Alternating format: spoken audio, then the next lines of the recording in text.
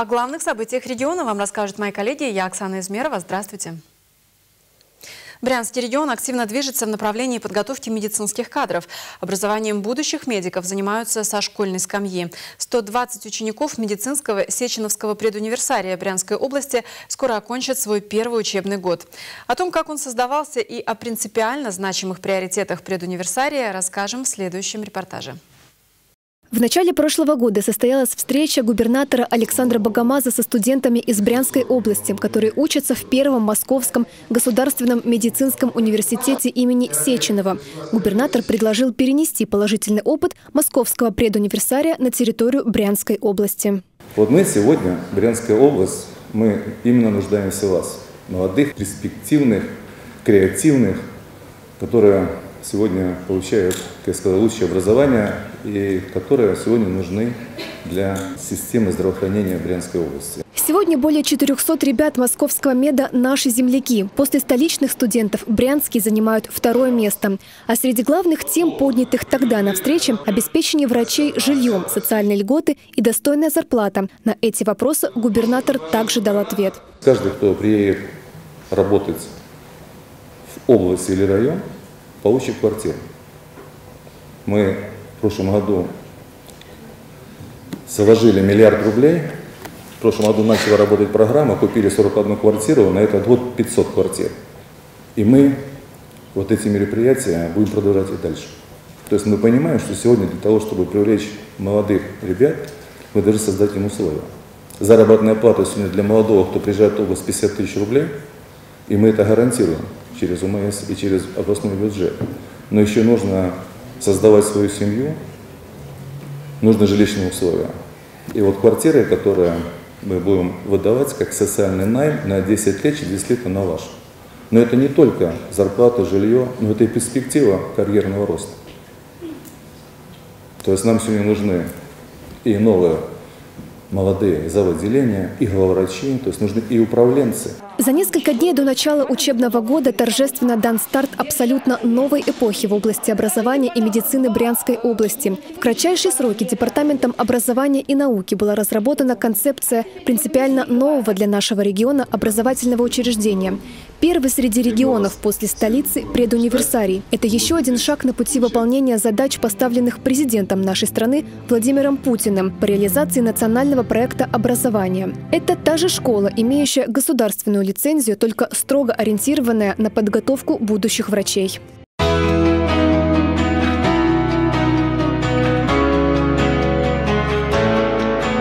Молодые и креативные эти ребята уже вошли в историю. Они первые в первом меди. Для них подготовлены абсолютно все условия для получения качественного образования.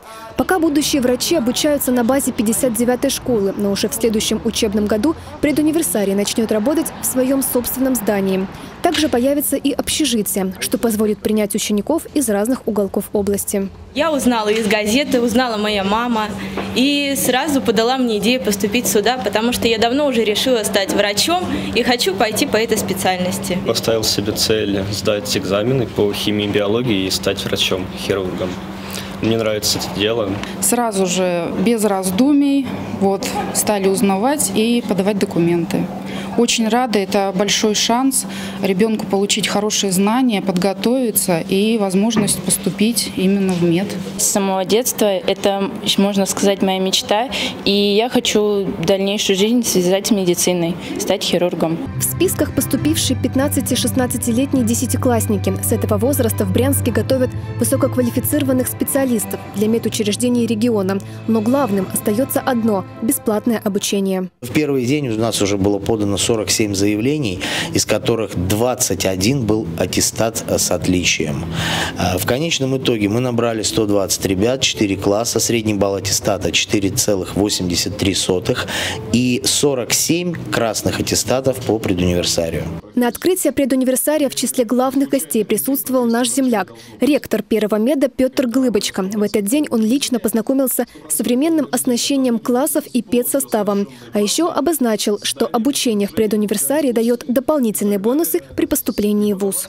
ЕГЭ будет прикладываться два года ваших обучения в предуниверсарии. Это и предпрофессиональный экзамен, это и участие в различных программах. То есть вы можете получить еще плюсом 10 баллов, что вам даст возможность достаточно серьезного и большого приоритета при поступлении в университет. Мне кажется, это правильное решение, это правильный путь. И здесь мы должны с вами сказать огромное слова благодарности Александру Васильевичу, Владимиру Ивановичу, как председатель областной думы, что вы принимаете правильные, может быть, они неординарные решения, но они правильные. Конечно, школы нужны, детские сады нужны, но сегодня нужно еще и внести правильный крен в образование. Если мы его не внесем, то мы опять же будем обучаться в хороших школах, красивые стены, можно их сделать и золотыми, мраморными и так далее но образование не получить. Я вот сегодня прошел по вашей школе, красивая, хорошая, мне понравилось. Но больше всего, знаете мне, что понравилось? Ну, кто-нибудь, скажите. Учителя.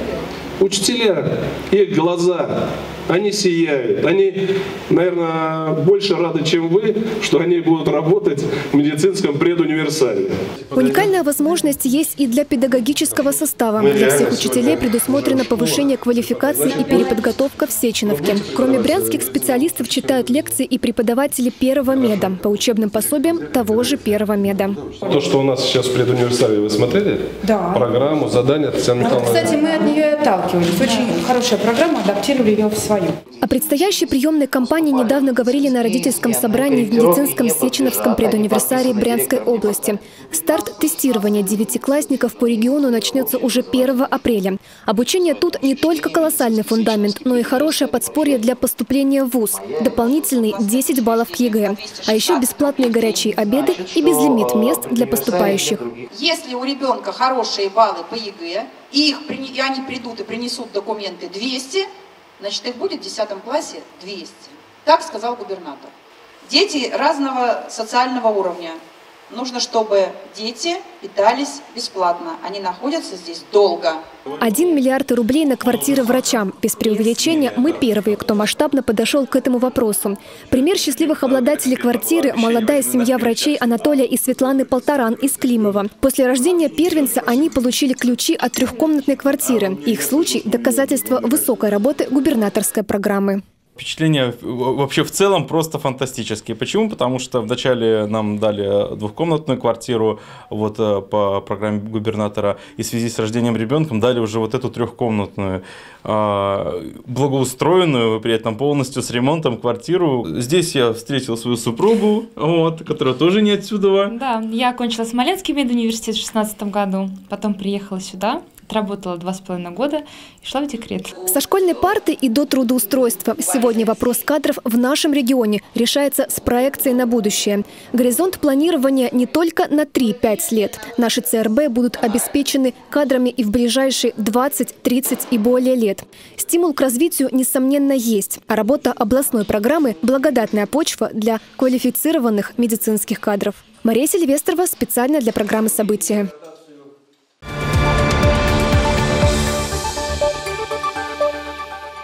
80 единиц коммунальной техники, почти 200 рабочих и более 600 тонн снега. Таковы цифры борьбы с природными явлениями в Брянске.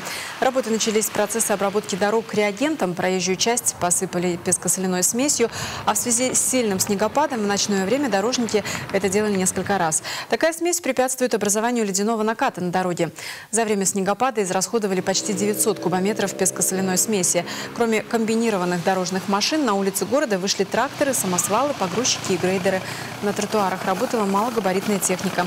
Была организована уборка скверов, территории у детских садов и школ. За снежными завалами во дворах многоквартирных домов следят коммунальные службы. Работы по расчистке снежных заносов будут продолжены. Горячее питание для школьников с 1 по 4 классы, реконструкция партизанской поляны и план мероприятий по подготовке и проведению празднования 75-й годовщины Победы. Основные темы, о которых шла речь на заседании Комитета по образованию, науке, культуре и СМИ Брянской областной думы.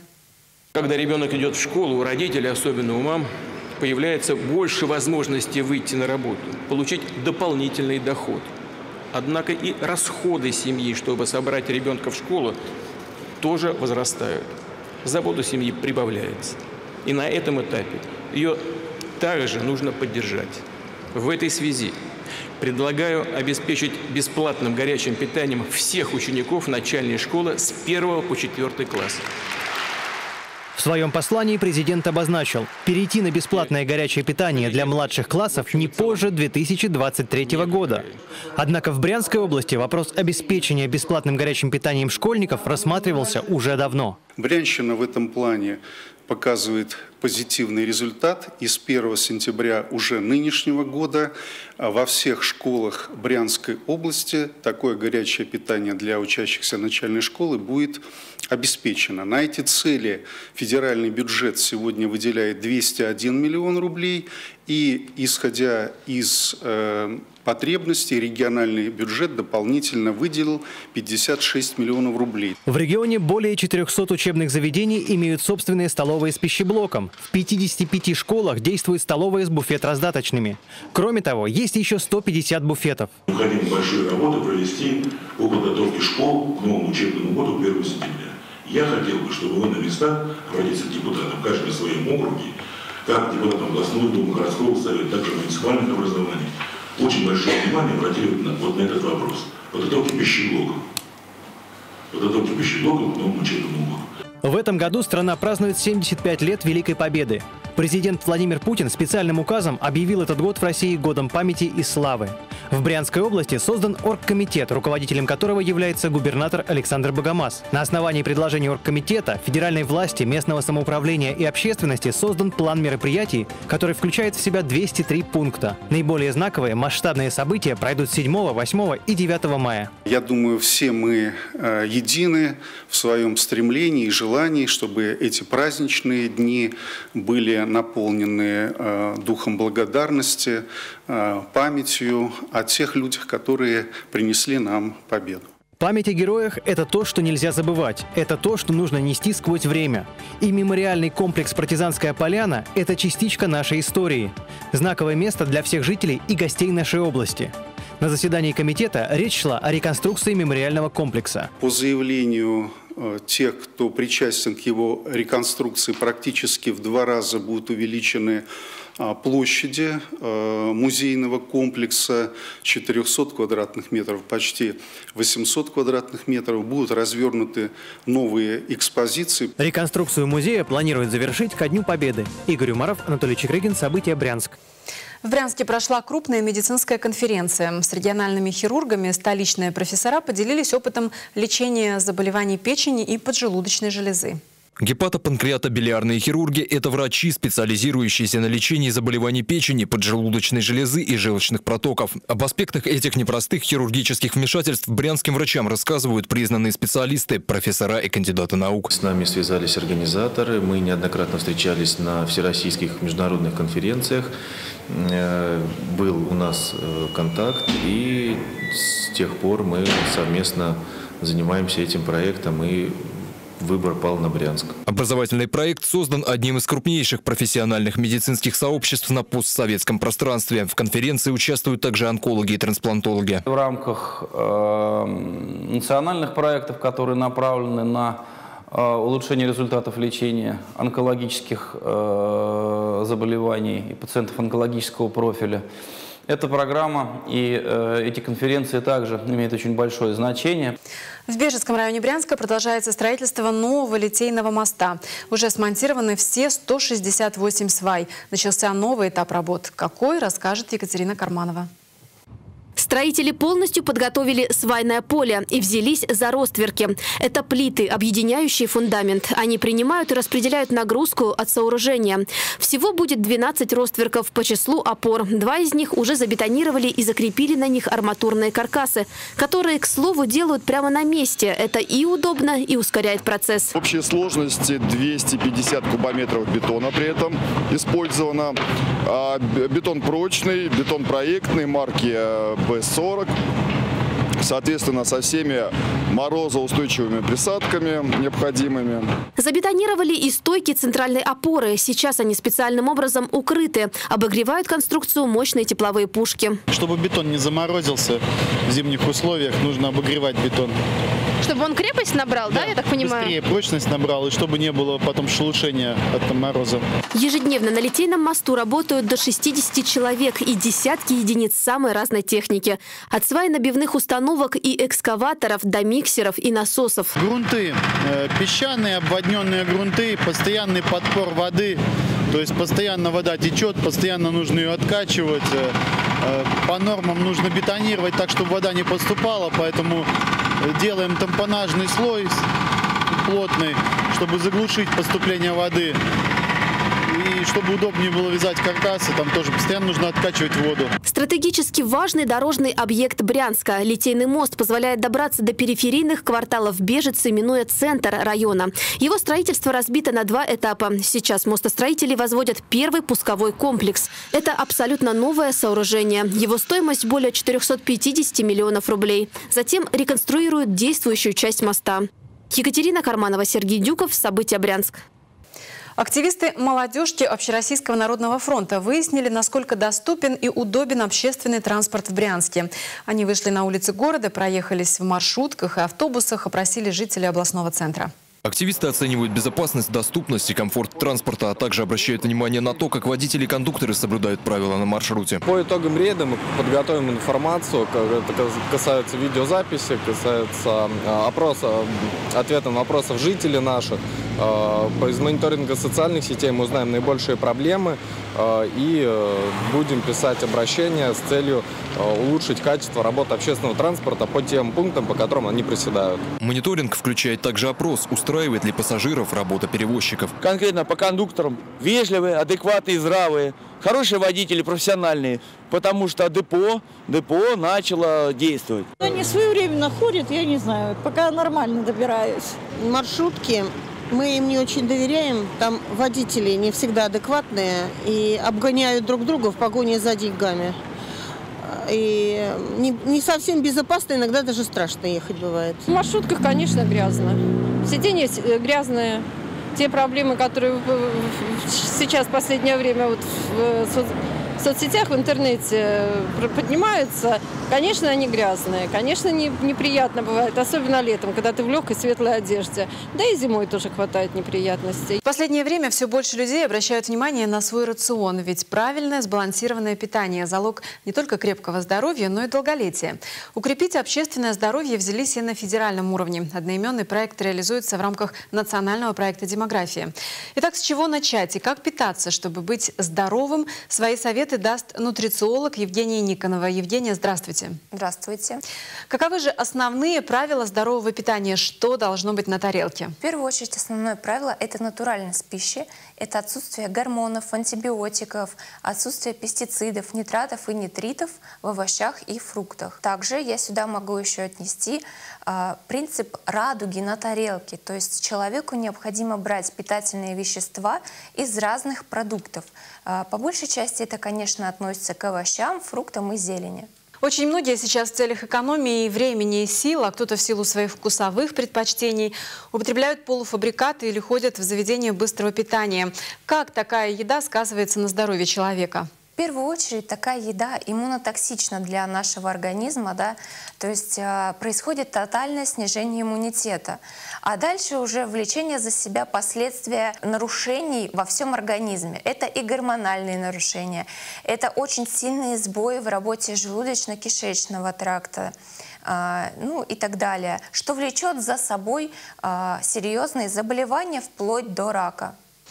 Все продукты можно условно разделить на полезные и вредные. Какие продукты необходимо включать в рацион каждый день, а от каких стоит отказаться? Да, обязательно в рационе это в первую очередь зелень, это овощи, это умеренное потребление фруктов, да, а, постное мясо, а, рыба, да, сюда мы относим и нежирные, и жирные сорта рыбы. Это полезные масла, нерафинированные, орехи, авокадо, это сложные углеводы, это сухофрукты. Евгения, спасибо за ваше экспертное мнение.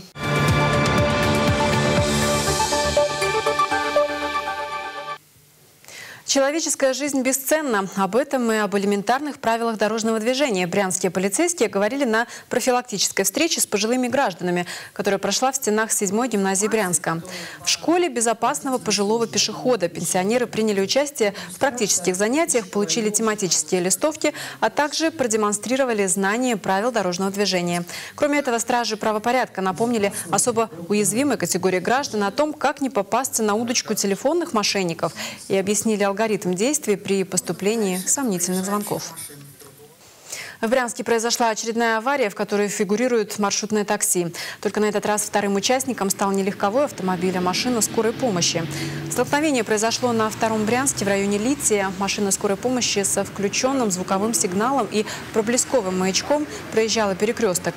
Водитель маршрутного такси номер 47 выезжал на проспект Московский. В результате столкновения пострадали 6 человек. Два пассажира маршрутного такси, водитель, два фельдшера и пассажир скорой помощи. На месте ДТП работали сотрудники полиции, выясняя обстоятельства и причины происшествия. Наша редакция готовит к эфиру новый специальный репортаж. Тема «Выгул собак». Редакция событий приглашает телезрителей принять участие в создании этого видеоматериала. Брянцы в социальных сетях бурно обсуждают видео. В поселке Белые берега овчарка набросилась на ребенка около школы. Собака была без намордника. Часто животных выгуливают на детских площадках, школьных стадионах. Хозяев не смущает, что питомец справляет нужду там, где играют дети. Если вы стали свидетелем, как нерадивые хозяева выгуливают своих питомцев в неположенных местах и не соблюдают правила выгула, присылайте фото и видео в нашу группу ВКонтакте или на почту bg-tv собакамейл.ру. В теме письма указать «Выгул собак».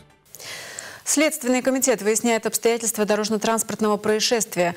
1 сентября 2018 года, примерно в 10 часов вечера, на дороге Орел-Брянск столкнулись Ford Focus с мотоциклом Honda. От полученных травм пассажир мотоцикла скончался. Просим очевидцев этого ДТП связаться со следователями по телефонам, которые вы видите на экране.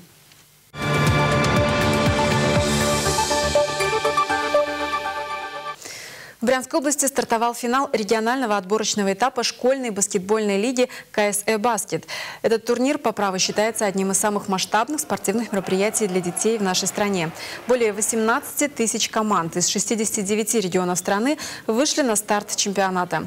После нескольких месяцев баскетбольных баталий в своих районах и городах лучшие школьные команды Брянской области вступили в борьбу за право представлять наш регион во всероссийском финале.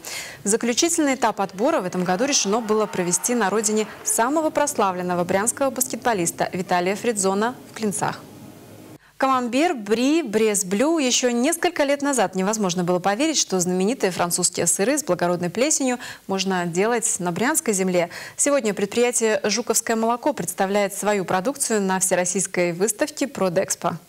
Сыр с белой плесенью под торговой маркой White Cheese from Жуковка начали производить чуть больше трех лет назад, а сегодня его уже можно найти в магазинах от Владивостока до Калининграда. Более того, компания «Жуковское молоко» со своими сырами вышла на международный рынок. Купить камамбер, бри или брес-блю из Жуковки можно в Беларуси и Казахстане. За сутки на предприятии перерабатывают не менее 30 тонн молока.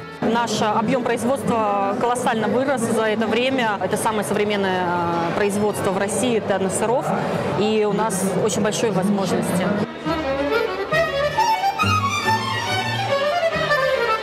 Пожалуй, самое приятное для гостей выставки «Продэкспо» в Москве – это дегустация. Как можно отказаться от тягучего сыра с голубой плесенью внутри и коркой белой плесени снаружи? Речь про Брест-Блю. Очень вкусно, пожалуйста, покупайте. Всем рекомендую. Из Брянска. А сыр как из-за границы. Употреблял бы, наверное, с фруктами, с виноградом. 5 баллов из 5. Оценивают вкус и качество сыров White Cheese from Жуковка и французские ценители. Один из самых больших поклонников наших сыров – это наш э, технолог из Франции. Он э, до сих пор данный сыр возит своим друзьям, коллегам, э, презентуя его как тот продукт, который он создал в России. Он действительно им очень горд. Позапрошлом году мы получили награду в области импортозамещения. Презентовали жуковские сыровары на международной выставке и традиционную молочную продукцию – сметану. Продэкспо – возможность не только рассказать о компании, но и провести деловые переговоры. Так у Жуковского молока появился новый партнер. По словам руководителя отдела продаж, это позволит предприятию создать просто невероятный продукт. Что конкретно, пока сюрприз для покупателей. Андрей Мамошин, Игорь Винничук. События. Москва. И по традиции в завершении выпуска узнаем, что нового у наших самых маленьких телезрителей в рубрике «Детские новости». Дмитрий Белов задавал вопросы. Я смотрела YouTube, где делали сами хлопушку. И там нужно туалетную бумагу разворовать, взять вот эту штуку, которую надо выкидывать, на нее отрезать шарик какой-нибудь, вот, чтобы горлышка не было. Вот, только шапочка. Надеваешь назад, там перед Потом такие разные кубики, ленточки, но не ленточки с бумаги цветной, такие палочки, кружочки. Засыпаешь туда и вот так чик, за шарик чик, пускаешь оно. На хоре много детей поют. Там еще мы всякие упражнения э, изучаем. И учительница у нас бывает строгая. Но она когда-то меня хвалила, когда я вот так открывала рот. Ну, когда надо было. На гимнастике делаем, на брусьях там, на канате там, колесо там уже делаем. Вот. Всякие мостики, там спагаты растяжки, вот. Новости и программы телеканала «Брянская губерния» также доступны на нашем сайте в интернете. И присоединяйтесь к нам в социальных сетях. Я желаю вам всего самого доброго и до свидания.